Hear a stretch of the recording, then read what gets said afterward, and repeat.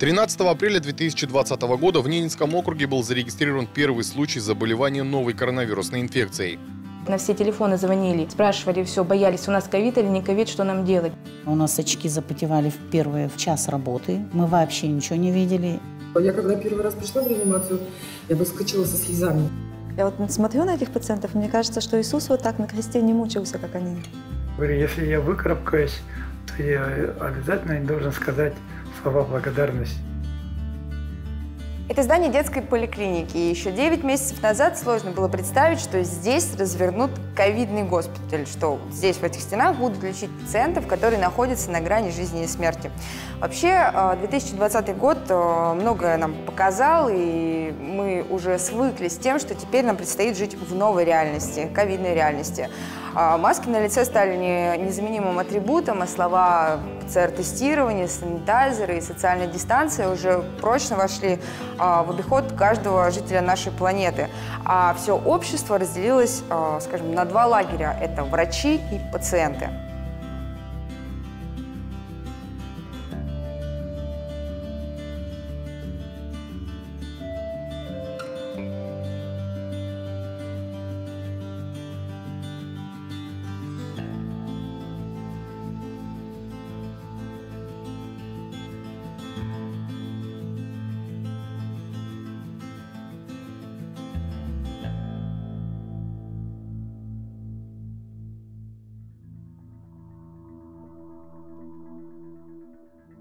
Вот вы помните этот момент, когда вы узнали о ковиде? Что вы подумали про этот вирус?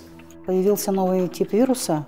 Конечно, во-первых, э, он уже пошел с конца 2019 года, когда первые случаи были в Китае и немало пошло летальных исходов. Мы уже понимаем, что вирус-то очень серьезный, вирус-то грозный. Э, информации было тогда ведь немного.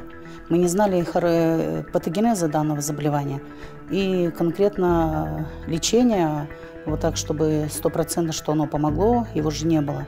Паники, страха, растерянности не было. Нет, я, я не могу так сказать. Может быть, э, на фоне... Мы же тоже люди.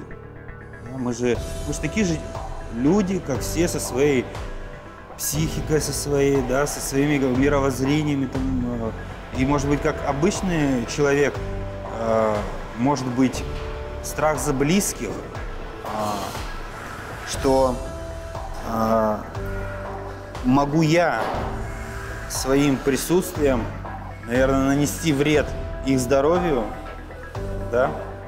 Наверное, скорее всего, это было.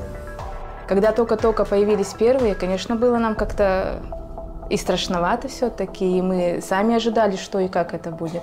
Звонков изначально, как только появился коронавирус, да, на, вот можно спросить у диспетчеров, и мы это мы видели, что, да, телефон не замолкает, на все телефоны звонили, спрашивали, все, боялись, у нас ковид или не ковид, что нам делать. Вы знаете, я помню первый рабочий день, когда мы пришли, мы стали одевать костюмы.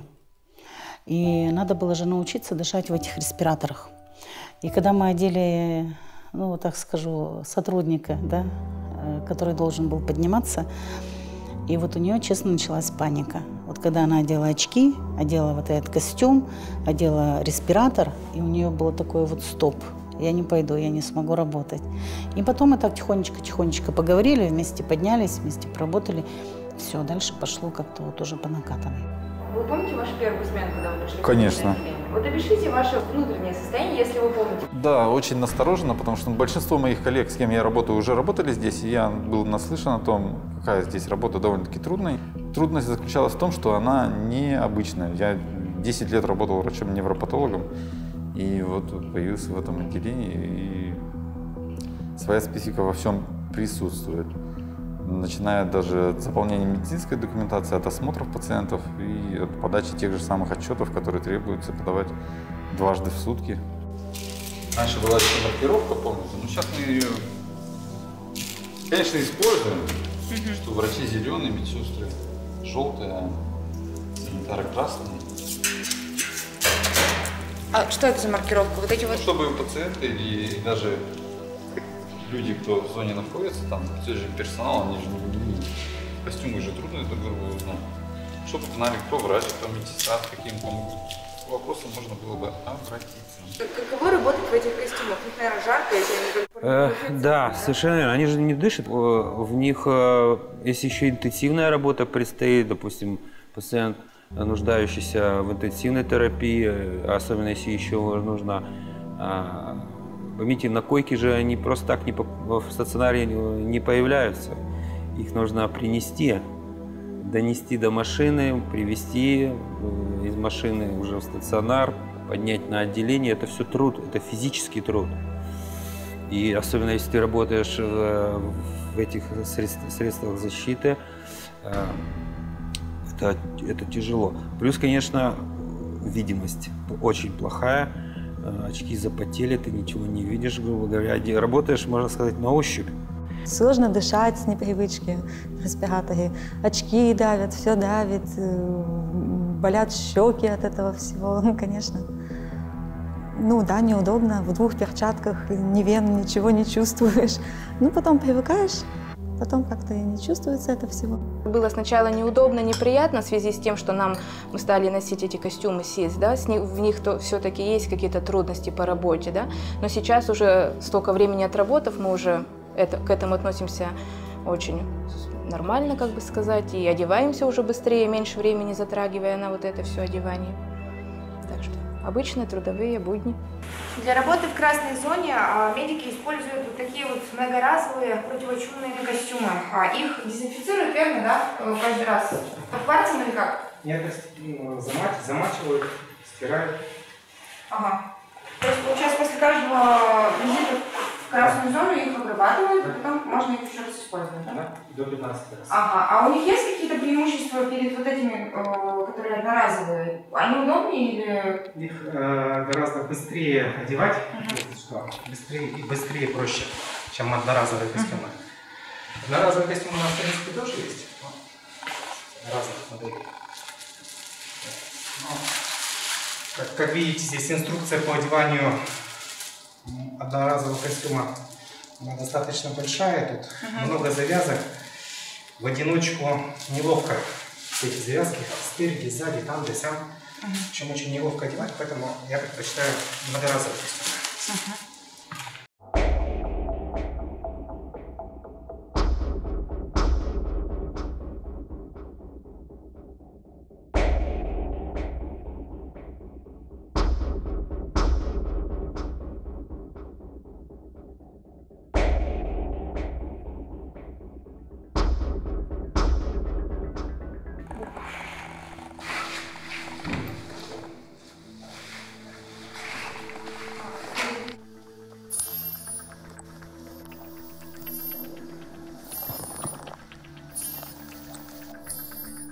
Когда они поступают вот в тяжелые, да, с большим поражением легких, а, а, вот э, им не хватает воздуха, они начинают задыхаться, да, мы включаем, даем им кислород, и им стану- становится легче. Мы помогаем больным, а, ухаживаем за ними. Да, это могут быть такие манипуляции, как обмыть человека, да, покормить его обедом.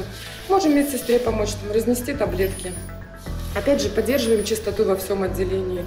Она достаточно тщательно соблюдается. То есть это обязательно обработка всех поверхностей э, достаточно сильными дезрастворами. Скажите, пожалуйста, как, насколько это тяжело морально? Я, конечно, не медик, но вот я сейчас побыла здесь минут, наверное, 10 всего. Мне уже немножечко жутко и хочется плакать от того, что людям действительно тяжело. Вы знаете, я вообще в реанимации, э, да, начнем с той реанимации. Я очень долго привыкала ко всем этим видам, где-то полгода. И совсем недавно я вот согласилась выйти вот именно вот к больным. Потому что для меня это тоже было очень тяжело. Я когда первый раз пришла в реанимацию, я выскочила со слезами. Поэтому ваша реакция вполне нормальна. А, Я очень долго привыкала. Ну, а врачи, медики, медсестры, а, как вам сказать, человек с профессией приобретает новые навыки. Не сказать, что он становится черствым, он э, профессионал, да? Любой врач, любой медик, он профессионал. Поэтому он действует четко, без всяких лишних эмоций. У нас уже за плечами уже немало стаж работы, поэтому Нужно знать и уверенно идти, и работать, и помогать. И если даже в душе у тебя что-то есть, какие-то волнения, по крайней мере, э, пациенту их э, не надо показывать. Человек, когда лежит на трубе, вот, э, что дышит за него аппарат, при этом он в сознании, у него же вот от этих вязок раны на лице, ну, понятно, что он сам плохо себя очень чувствует. Я вот смотрю на этих пациентов, мне кажется, что Иисус вот так на кресте не мучился, как они. Но очень было тяжело, потому что температура как 30, почти 39, и в течение пяти дней угу. это можно с ума сойти, да? Не спать, спать не можешь, ничего. Избить температуру надо как-то. Угу. Врачи около тебя же не будут стоять. Но я понял, что, наверное, я болею все-таки ковидом, наверное. И вот уже когда стал предел, уже, уже пять, ну, пять, сколько, пять ночей почти не спал, я понял, что это, эту ночь я больше, наверное, не выдержу уже. Ну, изначально пациенты, если они уже заведомо известно, что у них ковид, и дома им просто тяжело лечиться, они не справляются сами, они сразу напрямую поступают к нам. Если они в тяжелом состоянии изначально, они могут сразу поступать в реанимацию. Если это неопределенный какой-то случай, то есть мы не знаем, ковид это или не ковид, или просто пневмония какая-то, они поступают в обсерватор, там обследуются и потом распределяются, соответственно, терапия инфекционная или к нам. Вот я, наверное, был первый там, который попал туда. Потому что я был один пока вроде, наверное. Потом начали поступать. Но я попал в таком тяжелом состоянии, уже на грани был. Я почему согласился э, с вами поговорить еще, что вот когда я лежал там, когда там боролся как бы это, с помощью этих врачей, которые это, э, занимались это мной, да. Я тогда, я говорю, если я выкарабкаюсь, то я обязательно должен сказать слова благодарности. Силы уже никаких нет, с кровати нельзя вставать, под кислородом уже дышишь. И вот эти добрые слова, вот эти медсестры, которые врачи меняют, просто успокаивали, сказали, Петр Алексеевич, ничего, мы должны это, вытащим тебя. И вот это успокаивало и давала силы. Это в общем сестринский процесс, чтобы пациент себя чувствовал комфортно, в том числе и психически. Естественно, они боятся, естественно, им страшно, естественно, им плохо. Когда температура начала набирать обороты, у меня началась ломка, у меня пропало обоняние, у меня заболели глазницы. То есть все как должно быть. Я ну, вызвала врача, и врач вечером пришла, послушала, посмотрела и сказала, что, в принципе, у меня болезнь протекает в легкой форме. Я говорю, а что значит такое в тяжелой форме? Через день я снова вызвала врача, температура начала еще более набирать обороты. То есть в общей сложности я с температурой провела 8 дней. А, я считаю, что я очень тяжело переболела, потому что мне было страшно усыпать ночью. Э, я думала, что я сейчас усну и утром не проснусь. Как вели себя пациенты на месторождениях? То есть, ну, мы понимаем, они же там вообще изолированы от всего. Ну, был страх у них, они переживали, что здесь они отдаленно находятся, но как-то справлялись, объясняли, смотрели их, что их состоянию на данный момент ничего не угрожает, давали рекомендации, а тяжелых да, забирали, вывозили в больницу. У нас ковидная бригада создана изначально, как только он появился, да, и мы постоянно на ней работаем, не то что часто, имею в виду, а график составляется, и каждый раз как бы приходишь на работу, смотришь, ты в ковидной бригаде или нет, и в месяц ты работаешь на ней несколько раз. Нагрузка прежде всего сразу же свалилась на нас э, для такого города колоссальная а, нагрузка на, именно на медицинский персонал. Я же не говорю только бригад скорой медицинской помощи. Э, и сам режим э, вообще учреждений здравоохранения. Ну, наверное, все-таки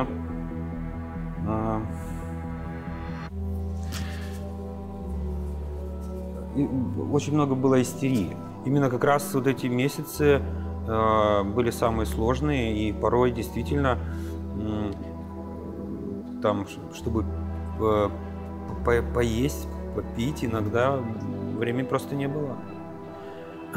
Это проблематично. Во-первых, мы, мы работаем в средствах индивидуальной защиты. Чтобы снять или попить что, э, что-то, нужно полностью, э, имеется в виду, снять э, средства индивидуальной защиты, обработаться правильно, да, то есть сколько мы времени потеряем. Потом же опять нам вызов дают, нам нам опять одеться опять по всем правилам, да. То есть э, было такое, что даже некогда было попить, поесть. Э, Это сложно было, на самом деле. Да, вахты были по две недели, но, вы знаете, в принципе, мы жили как одна семья. Вот, казалось, мы работаем в одной окружной больнице, да, и персонал ведь особо не знаешь других отделений.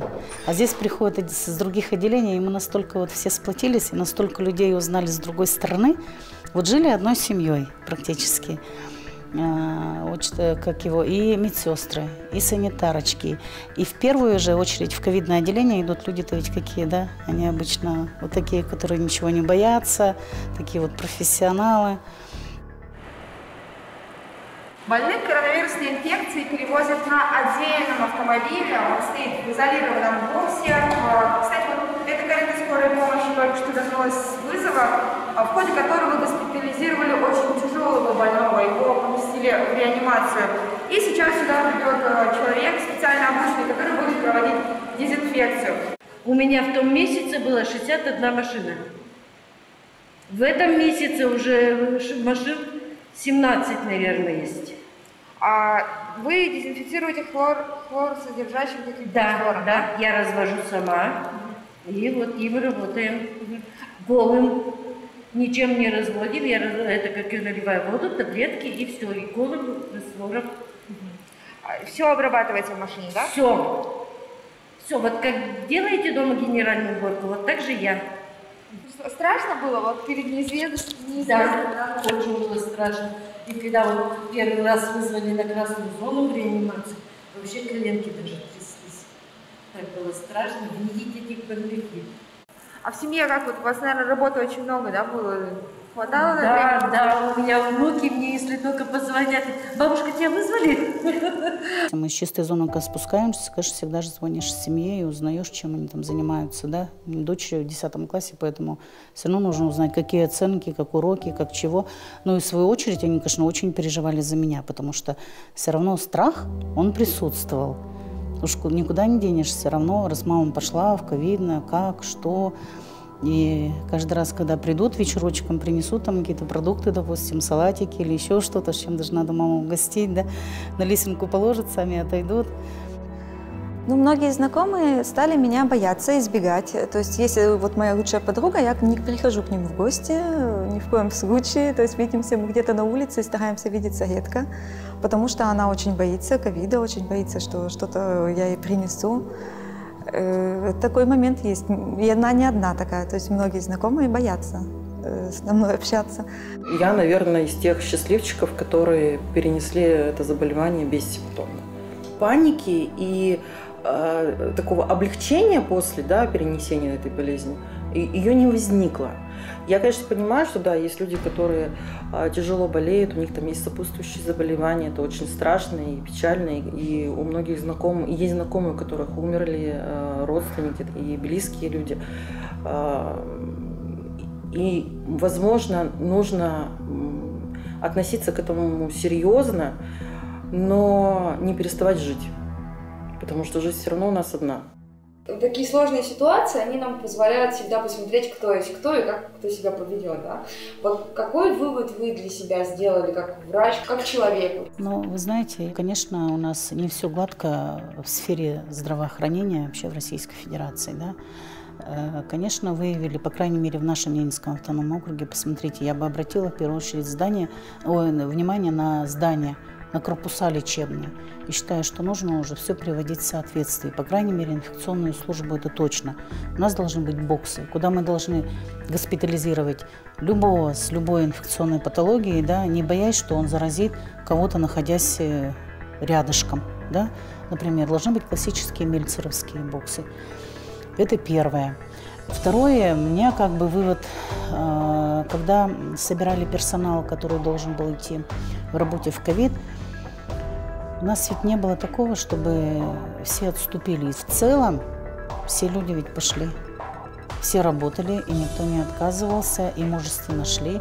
Особенно тогда, когда мы не понимали, когда у нас очки запотевали в первые практически час работы. Мы вообще ничего не видели, мы не понимали, что с ними делать. То мылом натирали, да, чтобы посмотреть, но это все равно не помогало. Потом ждали, когда эти очки наконец запотеют, чтобы они хорошо запотели, чтобы эта струечка скатилась, и мы хоть через эту струечку хоть видели бы лицо человека, пациента. Ну, наверху вот сегодня я была семь с половиной часов. Да, и так почти каждый день вот здесь в процедурном. Ну, пациентов достаточно много, то есть надо успеть всех полечить. То есть пока всем капельницы я не поставлю, уколы все не сделаны, пока я не выхожу. Сейчас не страшно, потому что уже опыт есть с работой с больными, да, и видишь, что уже и, и знакомые болеют, и на работе коллеги все-таки болели, да. Спокойно относимся к этому.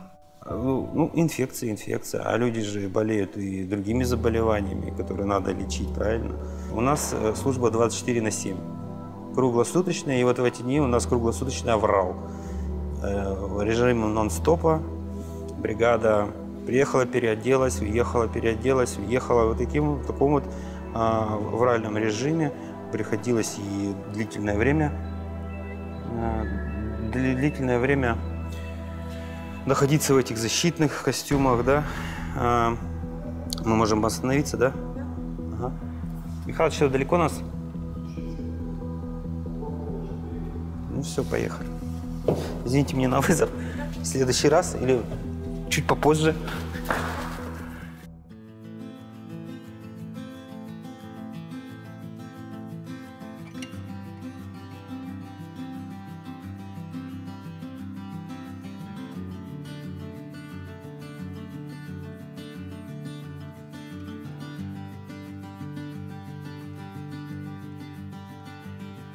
Сегодня у меня самая главная мечта – это построить инфекционное новое отделение.